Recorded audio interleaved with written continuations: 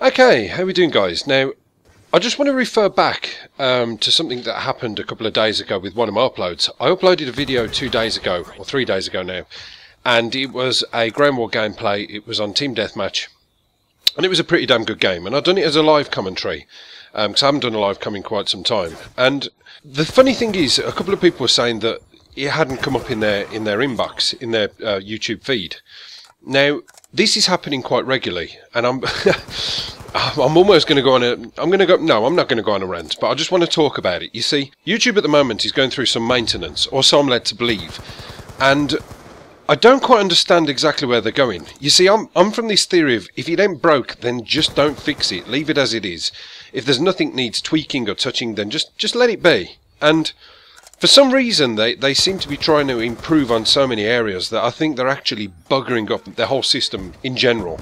Uh, you know, I don't know how many of you guys have ever seen when you've tried doing something and it says, oh, something went wrong. Don't worry, our team of highly trained monkeys are on this case. And it's like, wow, Treyarch have officially taken over YouTube. Yes. You see, I've said before in one of my videos that there seems to be a problem with my subscriber list, that I'm losing so many subs a day. And the evidence I have on this is from my Gmails. Now, if you go into your Google Gmail, it tells you all the things that are going on on your channel, from your from your subscriptions to you know informing you of people who you subscribe to who, who have actually uploaded videos. And one thing I've noticed is when I'm actually counting down how many subs I get a day compared to how many I actually have, proves that I'm losing, as I've said before, sometimes between 30 a day, which is quite a lot. That's quite a considerable amount.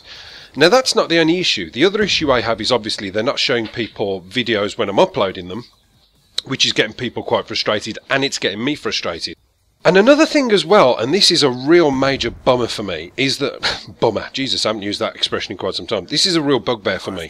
YouTube on the iPhone used to be quite accessible. I used to click on the Google app, it would come up and it would come up with my YouTube page, and I could watch videos, I could like videos, I could comment, I could answer people's comments in response. They then took that option away for you to be able to answer people's responses.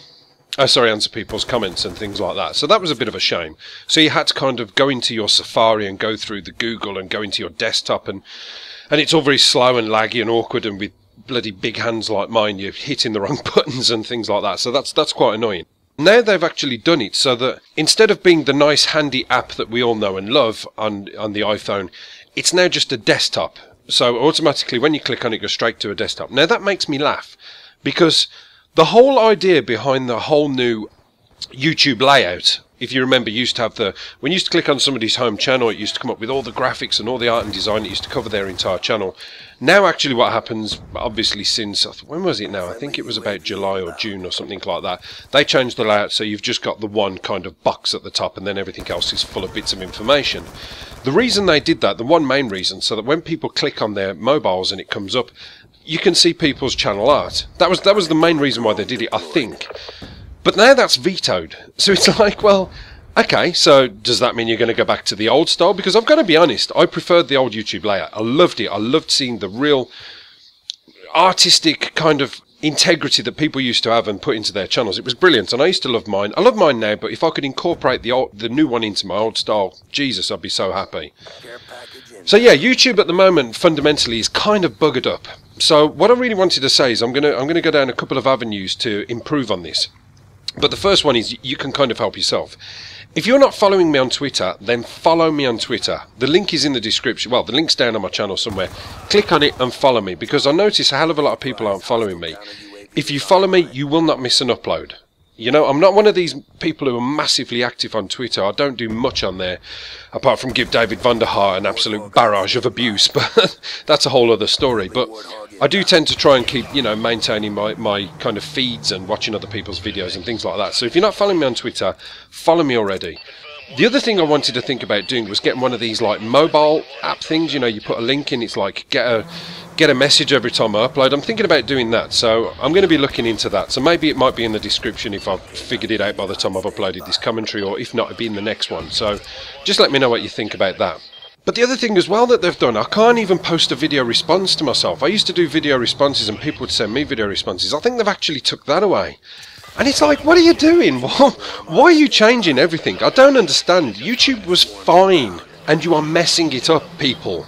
Look in the dictionary at messed up and there'll be a picture of bloody David Vonderhaar there. That, that's the whole that's the whole example you need of totally hashing something up. So yeah, like I say guys, if you're not catching some uploads, I do apologise. It's nothing to do with me. I'm trying my absolute best. And I notice it with other people as well. It's not just me, it's a lot of other people and YouTube's rendering their videos in bloody 240 and things like that, which isn't good enough. You know, people put a lot of effort into their videos and for YouTube to totally bollocks it up is is unacceptable really. So Going back, guys, just follow me on Twitter. You'll see everything I'm uploading. And uh, thank you very much for being patient. Apocalypse done.